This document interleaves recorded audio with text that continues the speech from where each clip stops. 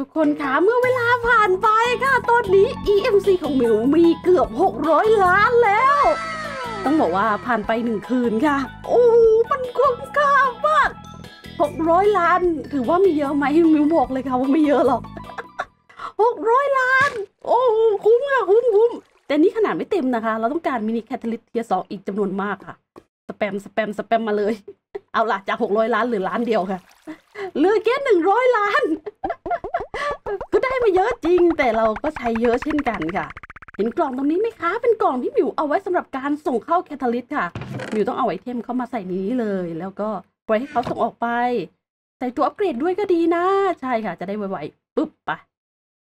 หมดไหมเราต้องดูค่ะ ห้ามหมดนะ เอ๊ะ มีบางอย่างผิดพลาดหรือเปล่า นี่มี catalyst แล้ว อันนี้ก็เต็ม โอ้ เต็มค่ะ นี่คือเต็มหมดแล้ว ถ้าไม่หมดก็แปลว่าเหลือเหลือก็คือเต็มค่ะ โอ้ เราหยิบมาเกินเหมือนกันนะเนี่ย เปิด night vision ดีกว่ายืบนี่ค่ะ สว่างทีนี้พอเต็มแล้วใช่ไหมคะมิวต้องปรับนี้ค่ะ ส่งออก ใช่ทุกอันค่ะต้องเป็นส่งออกให้หมดเลย แน่นอนว่าตอนนำเข้าเขานำเข้า catalyst ใช่ไหมแต่ตอนออกค่ะ เขาจะส่งออกแคปซูลแคปซูลที่มิวจะเอาไปเปลี่ยนเป็น diamond เนี่ย แล้วก็เอามาผ่านค่ะ เป็น EMC นั่นเอง โอ้โห EMC ตอนนี้ได้ต่อวิค่ะ ค่อยๆ แบบเปลี่ยนตัวเลขเปลี่ยนไปเรื่อยๆ ตามจำนวนที่เขาได้รับค่ะ ตอนนี้ทรัพยากรแทบจะเรียกว่าทั้งบ้านน่ะมิวเอามาเปลี่ยนเป็น EMC ให้หมดค่ะ เพราะ EMC นั้นสำคัญมากจริง ๆ ค่ะ มีสิ่งหนึ่งที่มิวจะเปลี่ยนนิดหน่อยค่ะ ตรงนี้ใช่ไหมข้างล่างค่ะ ตรงนี้เป็นพลังงานด้านซ้ายขวา มันจะกลายเป็นที่ส่งของออกมา มิวจะเปลี่ยนนิดหนึ่งค่ะ ก็คือแทนที่เขาจะส่งของออกมาเก็บไว้ในกล่องนี้ใช่ไหม แล้วค่อยเข้าสู่ระบบไม่ค่ะ เราจะใช้วิธีเก็บกล่องแยกค่ะ อย่างน้อยขอไอเทมไว้ในกล่องสักสองพันเผื่อว่าต้องใช้พวกแคปซูล tier สองในการ craft ไอเทมค่ะ ก็จะได้มีเหลือไว้ใช้นั่นเอง โอเค อันนี้เกินค่ะ โอ้โห เกินมาเยอะเหมือนกันนะเนี่ยนี่สิ่งที่เราเล็งไว้ต้องเป็นแบบนี้อะ ใช่ ก็คือส่งมาเข้าเครื่องเลย แล้วก็วางกล่องข้างกันค่ะ ปุ๊บเหลือไว้แค่แบบธรรมดาไม่มีตัวอัปเกรดก็จะจุไอเทมได้สองพันค่ะเห็นไหมให้มีสักนิดนึงตอนนี้ร้อยหกสิบละเก็บไว้ใช้นั่นเอง แล้วก็ไอเทมที่หมิวผลิตได้จากเครื่องนี้ใช่ไหมคะเขาก็จะมาอยู่ในนี้ค่ะ EMC Link ส่งเข้ามาให้กินกินกินไปเรื่อยๆ มิวก็ได้พลังงานเรื่อยๆ ค่ะว่าแต่ฟักทองนี่หมดแล้วยัง ยังไม่หมดอีกเลยค่ะโอ้มิวใช้ตัวธรรมดาไม่ได้ใช้ตัวอัปเกรดค่ะ ก็เลยกลายเป็นว่า ตัวนี้มันกินชาแฮะ นั่นสินะคะ อะ มีสิ่งหนึ่งค่ะ มิวสงสัยแบบมากๆเลยนะ ก็คือการที่เราอยู่ในโลกนี้ค่ะ สิ่งที่เราฟาร์มไว้ในนรกอะเขาทำงานหรือเปล่า นั่นคือสิ่งที่เราสงสัยมากๆเลยค่ะ เอาล่ะ ลองเข้าไปดู ทั้งโลกนี้ทำไมนรกมิวใช้การเคลมช้างค่ะ และบังคับฟอนโหลด บังคับโหลดแต่มิวไม่แน่ใจถ้าตัวเราไม่ได้อยู่นี่เขาจะทำงานไหม นั่นคือสิ่งที่ไม่แน่ใจ มีน้องเฝ้าให้ด้วยทำงานไหมคะสี่หมื่นสอง ได้แค่สี่หมื่นสองเหรอ ตอนแรกมีหนึ่งหมื่นใช่ไหมคะ แล้วขึ้นไปสี่หมื่นเอ้ย มันก็เหมือนทำงานนะ ใช่ เหมือนว่าทำงานอยู่ค่ะ ตอนนี้เราเคลมช้างใช่ไหมแล้วหมิวก็เนี่ยค่ะบังคับโหลดพื้นที่ เหมือนได้ถ้าเราได้สี่หมื่นสองมาก็ถือว่าเป็นอะไรที่ดี อืมน่าคิดน่าคิดค่ะ ใส่ใหม่ปุ๊บปุ๊บปุ๊บปุ๊บใส่ตัวอัปเกรดไว้ เอาล่ะไป แล้วก็เดี๋ยวรอดูรอบใหม่ค่ะ ว่าจะได้มากขึ้นไหม แต่เครื่องที่เราวางหมิววางไม่กี่เครื่องเลยนะสี่หมื่นสองที่มิวได้มามิวจะเอามาแอบไว้ใต้นี้ค่ะเฮ้ยทำไมต้องวางไว้ใต้นี้ล่ะ โอ้โห เหตุผลนั้นง่ายมากๆเลยค่ะ เพราะว่าใต้นี้คือท่อสายค่ะ ที่เอาส่งไปยังเครื่องคราฟนั่นเอง ของดีค่ะ ของดีปรับส่งออก แล้วก็ใส่ตัวอัปเกรดลงไปค่ะ นี่ ส่งไปซะเขาก็จะต้องเข้ามาเครื่องนี้ค่ะ มาแล้วอย่างไวเลยสุดยอดมากเอาล่ะสุดคราฟที่สามค่ะ ที่วิวจะระบุไป จึบจึบจึบไม่ใช่ ถ้าไม่ใช่ด้านนั้นก็ต้องด้านนี้ เอ๊ะสุดคราฟที่มิวอยากได้ เขาคราฟยังไงนะ กดมาเลยค่ะ นี่เลย โกลสโตน จัดไปค่ะโกลสโตนดัตนั่นเอง อืมจากนั้นมิวจะให้ส่งโกลสโตนออกมาเก็บไว้ด้านบนนี้ค่ะอจืบอจืบเงียมเฮ้ยเดี๋ยวเดี๋ยวเดี๋ยวนี่อะไร เดี๋ยวเดี๋ยวเดี๋ยวเดี๋ยวโรสโตนก็แอปพลายแล้วนี่แอปพลายโอเคทำงานใช่ไหม ส่งขึ้นใช่ไหม ได้ค่ะ แล้วก็ล็อกกล่อง นี่ glowstone ของที่จำเป็นมาก เพราะใช้เยอะมากค่ะ โอเค ไปครับค่ะครับครับครับครับอันที่จริงหมิวอยากจะได้อัปเกรดกุญแจนะ แต่ว่าไม่มีน้ำหมึกค่ะพอไม่มีน้ำหมึกหมิวก็กลายเป็นว่าอัปเกรดกุญแจนี้ให้มันโชว์ตัวเลขด้านหน้าไม่ได้ โอเคหมิวปักท็อตไว้ใต้เกาะค่ะ มอนสเตอร์ก็จะไม่เกิดด้านบนนี้ พื้นที่อย่างกว้างเลย ตรงนี้แหละที่เตรียมไว้ก็บ้านหมึกแน่นอนค่ะ แต่เมื่อกี้เขาบอกว่ามันไม่พอใช่ไหม ไม่พอก็แปลว่าต้องขาดอะไรบางอย่าง อาจจะขาดน้ำก็ไม่แน่ค่ะ แต่ว่าทำบ่อใหม่ให้กว้างกว่าเดิมดีกว่า ระดับหนึ่งคือปูดินค่ะหนึ่งชั้น แล้วก็เปิดคีย์ลัดโหมด bucket onวางมาเลยปึ๊บวางด้านใดด้านหนึ่งค่ะ ขวากับซ้าย เรียบร้อย infinity ทีนี้ก็เอาดินออก excavator นี่เลยค่ะน้ำ ไปต่อ น้ำเยอะแล้วนะ อ้าวโอ้โหเขาไม่ได้ต้องการหญ้าไม่ได้ต้องการอะไร เขาต้องการแค่น้ำค่ะ โอ้มิวก็จะได้เหยื่อล่อปลาหมึกแล้ว แล้วก็ปลาหมึกมาแน่นอนค่ะ อย่างนี้ เขาต้องการแค่น้ำแต่เราก็วางซะหญ้าวางอะไรเต็มไปหมด ไม่ได้ใช้ค่ะ เขาบอก ไม่นับไม่นับว่าเป็นบ้านหมึกทำไมเป็นปลาล่ะ เอ้ยนั่นไงหมึกมาแล้ว โอ้ได้ทั้งหมึกได้ทั้งปลาค่ะ นี่นี่ปลาหมึกอยู่ข้างบนปลาหมึกอยู่ข้างบนโอ้ยโหแค่สกิดธรรมดา ปลาเต็มไปหมดสมแล้วกับที่แถวนี้ไม่มีน้ำไงดูสิเปิดแผนที่อ่านี่อะไร อ๋อ ไม่นับปลาเนาะ โอเค แค่มีน้ำปลาก็พร้อมเกิดแล้ว โอ้ ดูสิคะ อย่างเยอะเลย ยอดเยี่ยมค่ะเรียบร้อยมิวได้น้ำหมึกมาแล้ว บินขึ้น แล้วก็บินลงตรงนี้ พร้อมครับสามอย่างดีค่ะหนังสือ หนังสือครับรวมกับกุญแจ ใช่เลย เรียบร้อย มี EMC ไหมไม่มีค่ะน่าเสียดายจริงๆ แต่ใด ๆ ก็ตาม เราก็จะสามารถไปแปะ นี่สองพันเจ็ดร้อย ยอดเยี่ยมค่ะ นี่สองพันเรียบร้อยค่ะ อันนี้ยังเหลือตั้งห้าพันนั้นได้เท่าไหร่เอ่ยจึ๊บโอ้ลืมลืมอัปเกรด ลืมอัปเกรดผมไม่ได้อัปเกรดเขาก็คราฟได้แค่นั้น จึ๊บยัดลงไปค่ะฮ่าฮ่าพออัปเกรดแล้วก็คราฟต่อโอ้โหยอดเยี่ยมยอดเยี่ยมดูการคราฟอะคราฟคราฟคราฟโอ้โหสั่งคราฟสุดๆ อย่าบอกนะว่าไดมอนส่งออกไม่ทันน่ะอะจริงเหรอ เฮ้ย ทันทัน โอเคมิวจะส่งไดมอนด์มาพักที่ตรงนี้ค่ะ นี่ออกก่อน แล้วก็จะส่งเข้าเครื่องด้านล่าง แล้วก็ซ้ายแล้วก็ใส่ตัวอัปเกรด เรียบร้อย ส่งมาพักที่ตรงนี้เนาะอัปเกรดไปเลยเต็มๆค่ะ อะเขาจะได้คราฟได้ไวขึ้น เพราะว่าสล็อตที่เก็บของเขาไม่เต็ม ก็จะไม่มีปัญหาอะไรค่ะ เคนั่นไงครับรื้อปุ๊บปุ๊บปุ๊บปุ๊บปุ๊บปุ๊บเป็นเครื่องที่คราฟดีมากเลยค่ะ ส่งมาคราฟไวมาก เพราะช่องนี้ไม่เต็มยังไงล่ะง้อดูสิคะคราฟคราฟคราฟส่งส่งส่งยอดเยี่ยมค่ะ ตอนนี้มีโกลสโตนอยู่ที่หมื่นนิดๆละอยู่ใช้เยอะมากค่ะ สุดๆเลย น่าจะอีกหนึ่งบล็อกกะด้วยสายตาแล้วก็ลองขุดขึ้นไปดูค่ะเฮ้ยถูกต้อง นี่ทำงานแล้ว เฮ้ยนี่ค่ะ หน้าตาจอเขาไม่ดำแล้ว ยอดเยี่ยมเลย แล้วทีนี้มิวก็จะวางต่อ อันนี้ pattern grid ยังไม่ได้ใช้ดิดไรค่ะ ตัวเก็บไอเทมนั่นเอง วางไว้ข้างๆกันแผ่นดิสตอนนี้มิว craft ได้มาแค่หนึ่ง Kค่ะ จุแผ่นดิสลงไปเรียบร้อยการทำงานเสร็จค่ะ สามารถจุไอเทมได้แค่นี้เองเสร็จแล้ว เวลา craft ไอเทมก็จะง่ายค่ะ มากๆเลย แต่ทีนี้มิวมีระบบอีกสองอย่างที่เอามาเพิ่ม โอเค pattern grid ค่ะ การทำ pattern สูตร craft แล้วก็เครื่อง craft เครื่อง craft อยู่ไว้ข้างๆกันตรงนี้ โอเค แล้วไหนดูซิ pattern เหรอหนูไม่เคยจำสูตร craft pattern ได้ค่ะ แต่นี่ไงcraft มา pattern ใส่เข้าไป อย่างแรกเลยการ craft ใช่แล้ว ต้องบอกว่าต้องเป็นสูตร craft นี้ค่ะ แบบเวอร์ชันอัดบล็อกเอาละเรียนรู้สูตร craft มาแล้วที่ pattern แล้วใส่ไปที่ตัว craft ทีนี้เราก็จะพร้อมที่จะ craft สั่ง craft ได้ใช่ไหมโอเค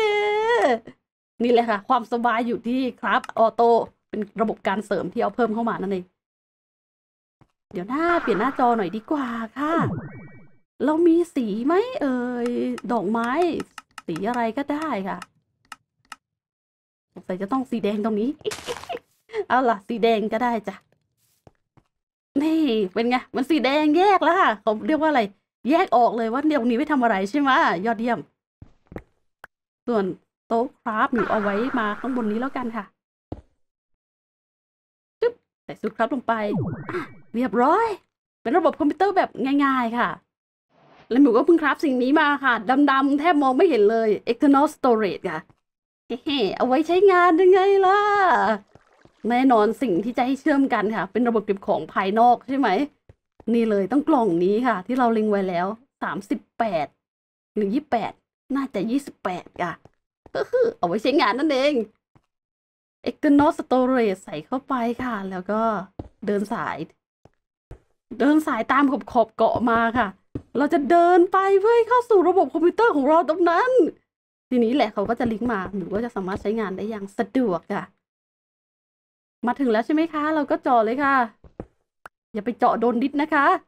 แล้วก็ลิงก์เชื่อมกันกับระบบคอมพิวเตอร์ค่ะ เรียบร้อยแล้วท่านไหนดูสินี่ไงสองหมื่นแปดมาแล้วค่ะ นี่แหละที่เราต้องการ โอเค เข้าสู่ระบบในนี้ก็จะคราฟง่ายขึ้น แต่เราติดขัดปัญหาบางอย่างค่ะ เป็นปัญหาที่แบบ เอ้ย เป็นปัญหาที่แบบสำคัญมากๆเลย การเผาไอเทมค่ะ ตอนนี้สิ่งที่หมิวกำลังเผาคือเอาพวก แร่ไปเผาเป็นซิลิคอนใช่ไหมเนเธอร์ควอตค่ะแต่ว่ามันช้าช้า ช้าไม่ทันใจต้องการมากกว่านี้ เตาเผาสีดำใช่ แล้วเราก็จะเอาเตาเผาสีดำค่ะ อัปเกรดต่อเป็นเตาเผาสีแดง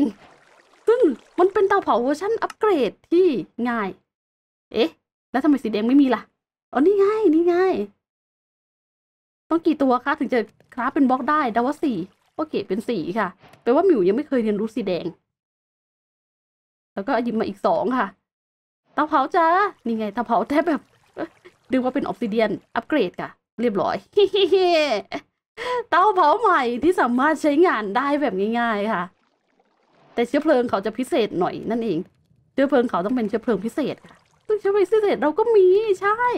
แล้วเขาก็จะเผาไอเทมให้เราไวมาก อย่างเช่นถ้าหมิวเอาแร่ควอตใช่ไหมคะมาเผาในนี้ เวฟไวง่ายเร็วก็ไวอะไวมากๆ อัดด้วย EMC ล้วนๆ นี่แหละ ไวใช้ได้เลย Import ค่ะใส่เข้าไปเตาเผาเราจะวางตรงนี้ ใช่แล้วแล้วก็ เอ้ย Export เหรอ ไม่เราไม่ใส่ Export อย่างนั้น เราจะต้องใส่ Crafter ค่ะยกขึ้นยกขึ้น แล้วก็เครื่อง crafter ค่ะ วางแบบนี้ ทีนี้เราก็จะสามารถระบุสูตร craft auto ได้ใช่ไหมว่าต้องการอะไร น่าจะอย่างนั้นค่ะ เราก็จะเชื่อมสายก่อนจึ๊บจึ๊บวางซิลิคอนลงไปหนึ่งแล้วก็วาง nether quartz ลงไปหกสิบสี่วางทำไมหกสิบสี่ไม่ใช่ ต้องวางลงไปหนึ่งก็พอแล้วก็คือเผา nether quartz ให้กลายเป็นซิลิคอนค่ะ เรียบร้อย เอาล่ะ ใส่ระบุไปเลยจ้า นั่นแหละ แล้วข้างไหนขอดูหน่อยสิ nether quartz มียี่สิบซิลิคอนเหรอคะ อันนี้กด shift click ใช่ไหม shift click ไม่ใช่ ต้องเป็น control click ก็ไม่ใช่ แต่เมื่อกี้มิวกดได้มิวใช้ control shift click อ่าร้อยยี่สิบ start start สั่งเผาค่ะ นี่เขากำลังส่งมาเรื่อยๆ ใช่เลย ทีนี้เราก็ขอแค่มีเชื้อเพลิงก็พอแล้วค่ะ Export Export เชื้อเพลิงของเรา นี่ไงล่ะใส่เข้าไปใส่ speed ให้หน่อยนิดหนึ่งค่ะ แล้วในระบบ inventory มีเชื้อเพลิงไหมต้องมีเชื้อเพลิงอยู่นะ จากนั้นเขาก็ส่งเชื้อเพลิงออกมาแล้วเขาก็เผาเป็นซิลิคอนตามคำสั่งที่เราใส่ไว้ในนี้ค่ะ โอ้โห ดีดีดีดี craft ต่อค่ะ 64k storage part แต่ก่อนมันเป็นขั้นสูงสุดใช่ไหม แต่ใน mod นี้ค่ะ มิวเห็นว่ามันมีการอัปเกรดต่อเป็น extra ได้ด้วย โอ้โหจุไอเทมได้มาหาศาลค่ะแปลว่าไอเทมในนี้จะต้องมาหาศาลแน่นอน โอเค แล้วเราก็ต้องทำใส่ขอบ ใส่ขอบ เขาบอกว่าแร่ควอตที่ผสมกับเหล็กนั้นหมดค่ะ เออ ก็หมดจริง ๆ หมดอีกแล้วเหรอ เนี่ย เออทำไมเขาอยู่ตรงนี้แล้วเขาไม่คราฟให้เราแปลกจังเราก็คราฟได้นี่แต่ทำไมอยู่ข้างล่างไม่คราฟแปลกจังเลยค่ะ เอาล่ะจืบหรือว่าเป็นสูตรคราฟที่เราระบุไว้แต่ว่าเขายังทำไม่เสร็จเหรอ ก็อาจจะเป็นไปได้ พร้อมครับไหมพร้อมมานี่แหละ จะทำเป็นแผ่นดิสค่ะ เอาดิสเปล่า ใส่รวมกับดิสข้อมูลเงียบหกสิบสี่แล้วก็ใส่ลงไปในนี้ชึบเรียบร้อยค่ะ จุ item ได้มากขึ้นเวฟจุไป ดีดีทีนี้ถ้าจะถามว่า เอ๊ะ เรามี EMC ทำไมเราไม่ใช้ EMC ตัวนี้เป็นระบบคอมพิวเตอร์เลยอะไรอย่างนี้ใช่ไหมคะ ก็คือตัวนี้มัน craft ไม่สะดวกค่ะ มันไม่ได้มีโต๊ะ craft ตรงนี้ให้เราไง แต่ถ้าเป็นระบบนู้นค่ะ เราสามารถดึง item craft craft craft ในสิ่งที่มีได้เลย ซึ่งมันสะดวกกว่าหมิวก็เลย ต้องทำระบบคอมพิวเตอร์แบบนั้นขึ้นมาด้วยปึ๊บจึบเวฟนี่ค่ะ เก็บได้ทุกอย่างมี EMC หรือไม่มี EMC มีค่าพลังงานไหม หรือไม่มีค่าพลังงานนั้น บอกเลยว่า เก็บได้หมดค่ะ โอ้ยเต็มแล้วกำลังเอาของไปใส่เรื่อยๆค่ะ เรื่อยๆปึ๊บ แล้วก็กล่องหนึ่งกล่องตรงนี้ค่ะ ที่หมิวเอามาใช้ ตรงนี้เป็นกล่องที่เราเอาออกตั้งแต่แรกมีห้าหมื่น external storage ใช่ ระบบเก็บของภายนอกค่ะ ก็เขาจะปรากฏมาในนี้ห้าหมื่นเจ็ดเอาไว้คราฟค่ะ ต้องบอกว่าเอาไว้คราฟพวกที่เกี่ยวกับไบโอใช่ไหม ก็หลักๆแล้วที่เราจะคราฟก็นี่แหละค่ะชูก r เคนสำคัญมาก มีชูก r เคนก็เท่ากับว่ามีน้ำตาลค่ะ ใช่ มีน้ำตาลน้ำตาลทำอะไรได้บ้าง โอ้โห น้ำตาลนั้นนอกจากของกินแล้ว เราสามารถ craft เป็นตัวอัปเกรดได้ค่ะ นี่ไง อัปเกรดพวก stack speed ค่ะคือแบบใช้เยอะอะใช้เยอะมาก speed จ้าโอ้อัปเกรดหลาย tier ค่ะ นี่เลย upgrade speed นั่นเองของสำคัญมากค่ะอ้าวทำไมได้แค่ตัวเดียวล่ะจ๊ะขาดอะไรขาด quartz iron ค่ะ เนี่ย craft ง่ายค่ะ craft ง่าย ชีวิตนี้มันช่างง่ายจริงโอ้เก้าตัวค่ะสายเคเบิลที่เราฝังไว้ใต้เกาะอู้ตัวนี้ค่ะ เรียบร้อยแล้วที่หมิวเอามาจากในนรกโอ้โหเกลี้ยง สายเคเบิลที่เราฝังไว้ใต้เกาะโอเค อยู่ตรงนี้ค่ะ เดินมาเลยปึ๊บเราจะเดินมาตรงไหนคะ นี่ไง ตรงนี้ค่ะ อ้าว มีมีท่อสายอะไรอยู่นั่นน่ะ โอเค งั้นก็ตรงนี้แทนแล้วกัน external storage ดำๆที่แทบมองไม่เห็นค่ะก็ต่อเอ๊ะทำไมผมวางเคเบิลไม่ได้ โอเค วางเคเบิลได้แล้วจึ๊บจึ๊บจึ๊บจึ๊บต่อออกมาค่ะ สายเคเบิลเชื่อมกัน ทีนี้ก็หมายความว่าตรงนี้ของเราเราก็จะเห็นเบรดแล้วค่ะ โอ้โห มีไม่เยอะอะมีน้อยมากเลย สายเคเบิลนั้นเราจะไม่ได้วางใต้ค่ะ เราจะวางที่ขอบๆมัน เวลาดูด item จะได้ดูดง่าย excavate ปึ้ง ดูดค่ะ ดูดเข้าได้หมดไม่มีร่วงลงวอย ตอนนี้เรากำลังปรับสายเคเบิลค่ะ จะเอาสายเคเบิลขึ้นมาสักนิดนึง ให้อยู่แบบชิดขอบตรงนั้น เอ็กเวตเนี่ยดูได้หมดค่ะไม่มีร่วงลงวอยแหวนแบ็คโฮที่หมิวใส่นั้นมันดีจริง อ้าว โอ้ยอู้ก็ผิดโฟสาย เอกเวตไปดูอย่างนี้เลยค่ะ สายหายหมดเลย โอ้สาววางสายไปแล้ว วางใหม่ค่ะจึ๊บจึ๊บโอ้สาววางสายไปแล้ว ต้องวางใหม่อะเรียบร้อยค่ะ ลิงก์ไหม เห็นไหม เป็นกองเก็บของภายนอกใช่ใช่ โอเค ได้แล้วค่ะพันเจ็ดต้องมานั่งวางใหม่ เออระบบชาร์จตรงนี้ใช่ไหมคะ เอาออกเอาออกค่ะ ไม่จำเป็นที่จะต้องตั้งตรงนั้นตัวนั้นเครื่องจักรตรงนี้ ขวางทางซะเหลือเกิน แต่เขาบอกว่าเขามาอยู่ก่อนนะเขามาอยู่ก่อนถนนสายเส้นนี้ค่ะก็โอเคโอเค อยู่ก่อนก็ให้อยู่ก่อนไปเลยค่ะโอ้โหขวางขวางเส้นทางมาก กล่อง เอาออกก็ได้ อันนี้จริง โอเค แล้วก็ฐานใช่ไหม อืมฐานก็เยอะอะไรก็เยอะ แล้วก็คงเหลวเต็มแท้งแล้วค่ะ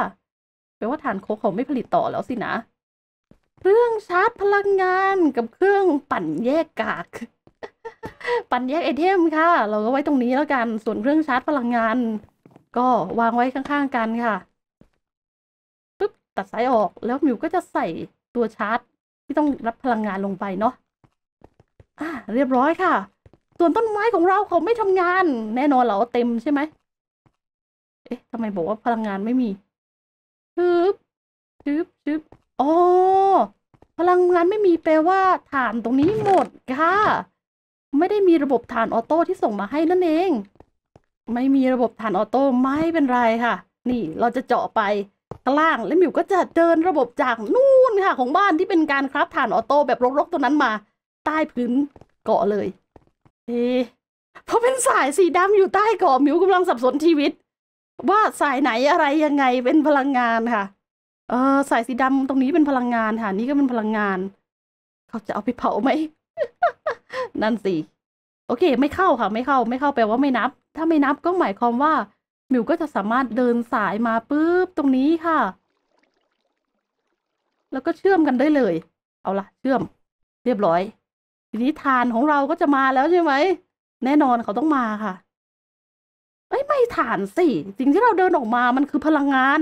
พลังงานเพียวๆแปลว่า อันนี้ค่ะโลเครื่องผลิตพลังงานพวกนี้ออกได้เลยใช่ปึ๊บพอสายสีดำก็สับสนชีวิตเหมือนกันค่ะ โอ้สายสีดำมันคือสายที่แบบ ทุกอย่างไง ส่งได้ทุกอย่างค่ะ เราก็เลยไม่แน่ใจว่ามันเป็นไอเทม เป็นพลังงานเป็นของเหลว ดีนะที่เรายังไม่มีเรื่องระบบแก๊ส ถ้าเรามีเรื่องระบบแก๊สด้วยนี้คงจะต้องแบบสับสนมากกว่าเดิมค่ะว่าคืออะไรกันแน่ โอ้นั่นไงคะ เรียบร้อยพอได้พลังงานค่ะ พลังงานมาเต็มเขาตัดทันที โอ้ยอดเลย แต่ว่าไม้เราไม่ได้ต้องการหรอกใช่ไหมล่ะเครื่องนี้เราเอาไว้หา soul sand ในช่วงต้นค่ะ ซึ่งหมิวก็ไม่ได้ใช้งานอีกแล้ว เอาล่ะทุกคนค่ะ เดี๋ยว part หน้าเรามาต่อกันค่ะ มาทำอะไรดีนะคือหมิวอยากจะบอกว่าเดี๋ยวเราจะมุ่งสู่เกษตรกรรม หลังจากจัดบ้านเสร็จเรียบร้อยเป็นระเบียบเป็นโซนเมื่อไหร่เกษตรกรรมต้องมาแล้วค่ะ โอเคพาร์ทนี้ลากันไปก่อนบ๊ายบายค่ะ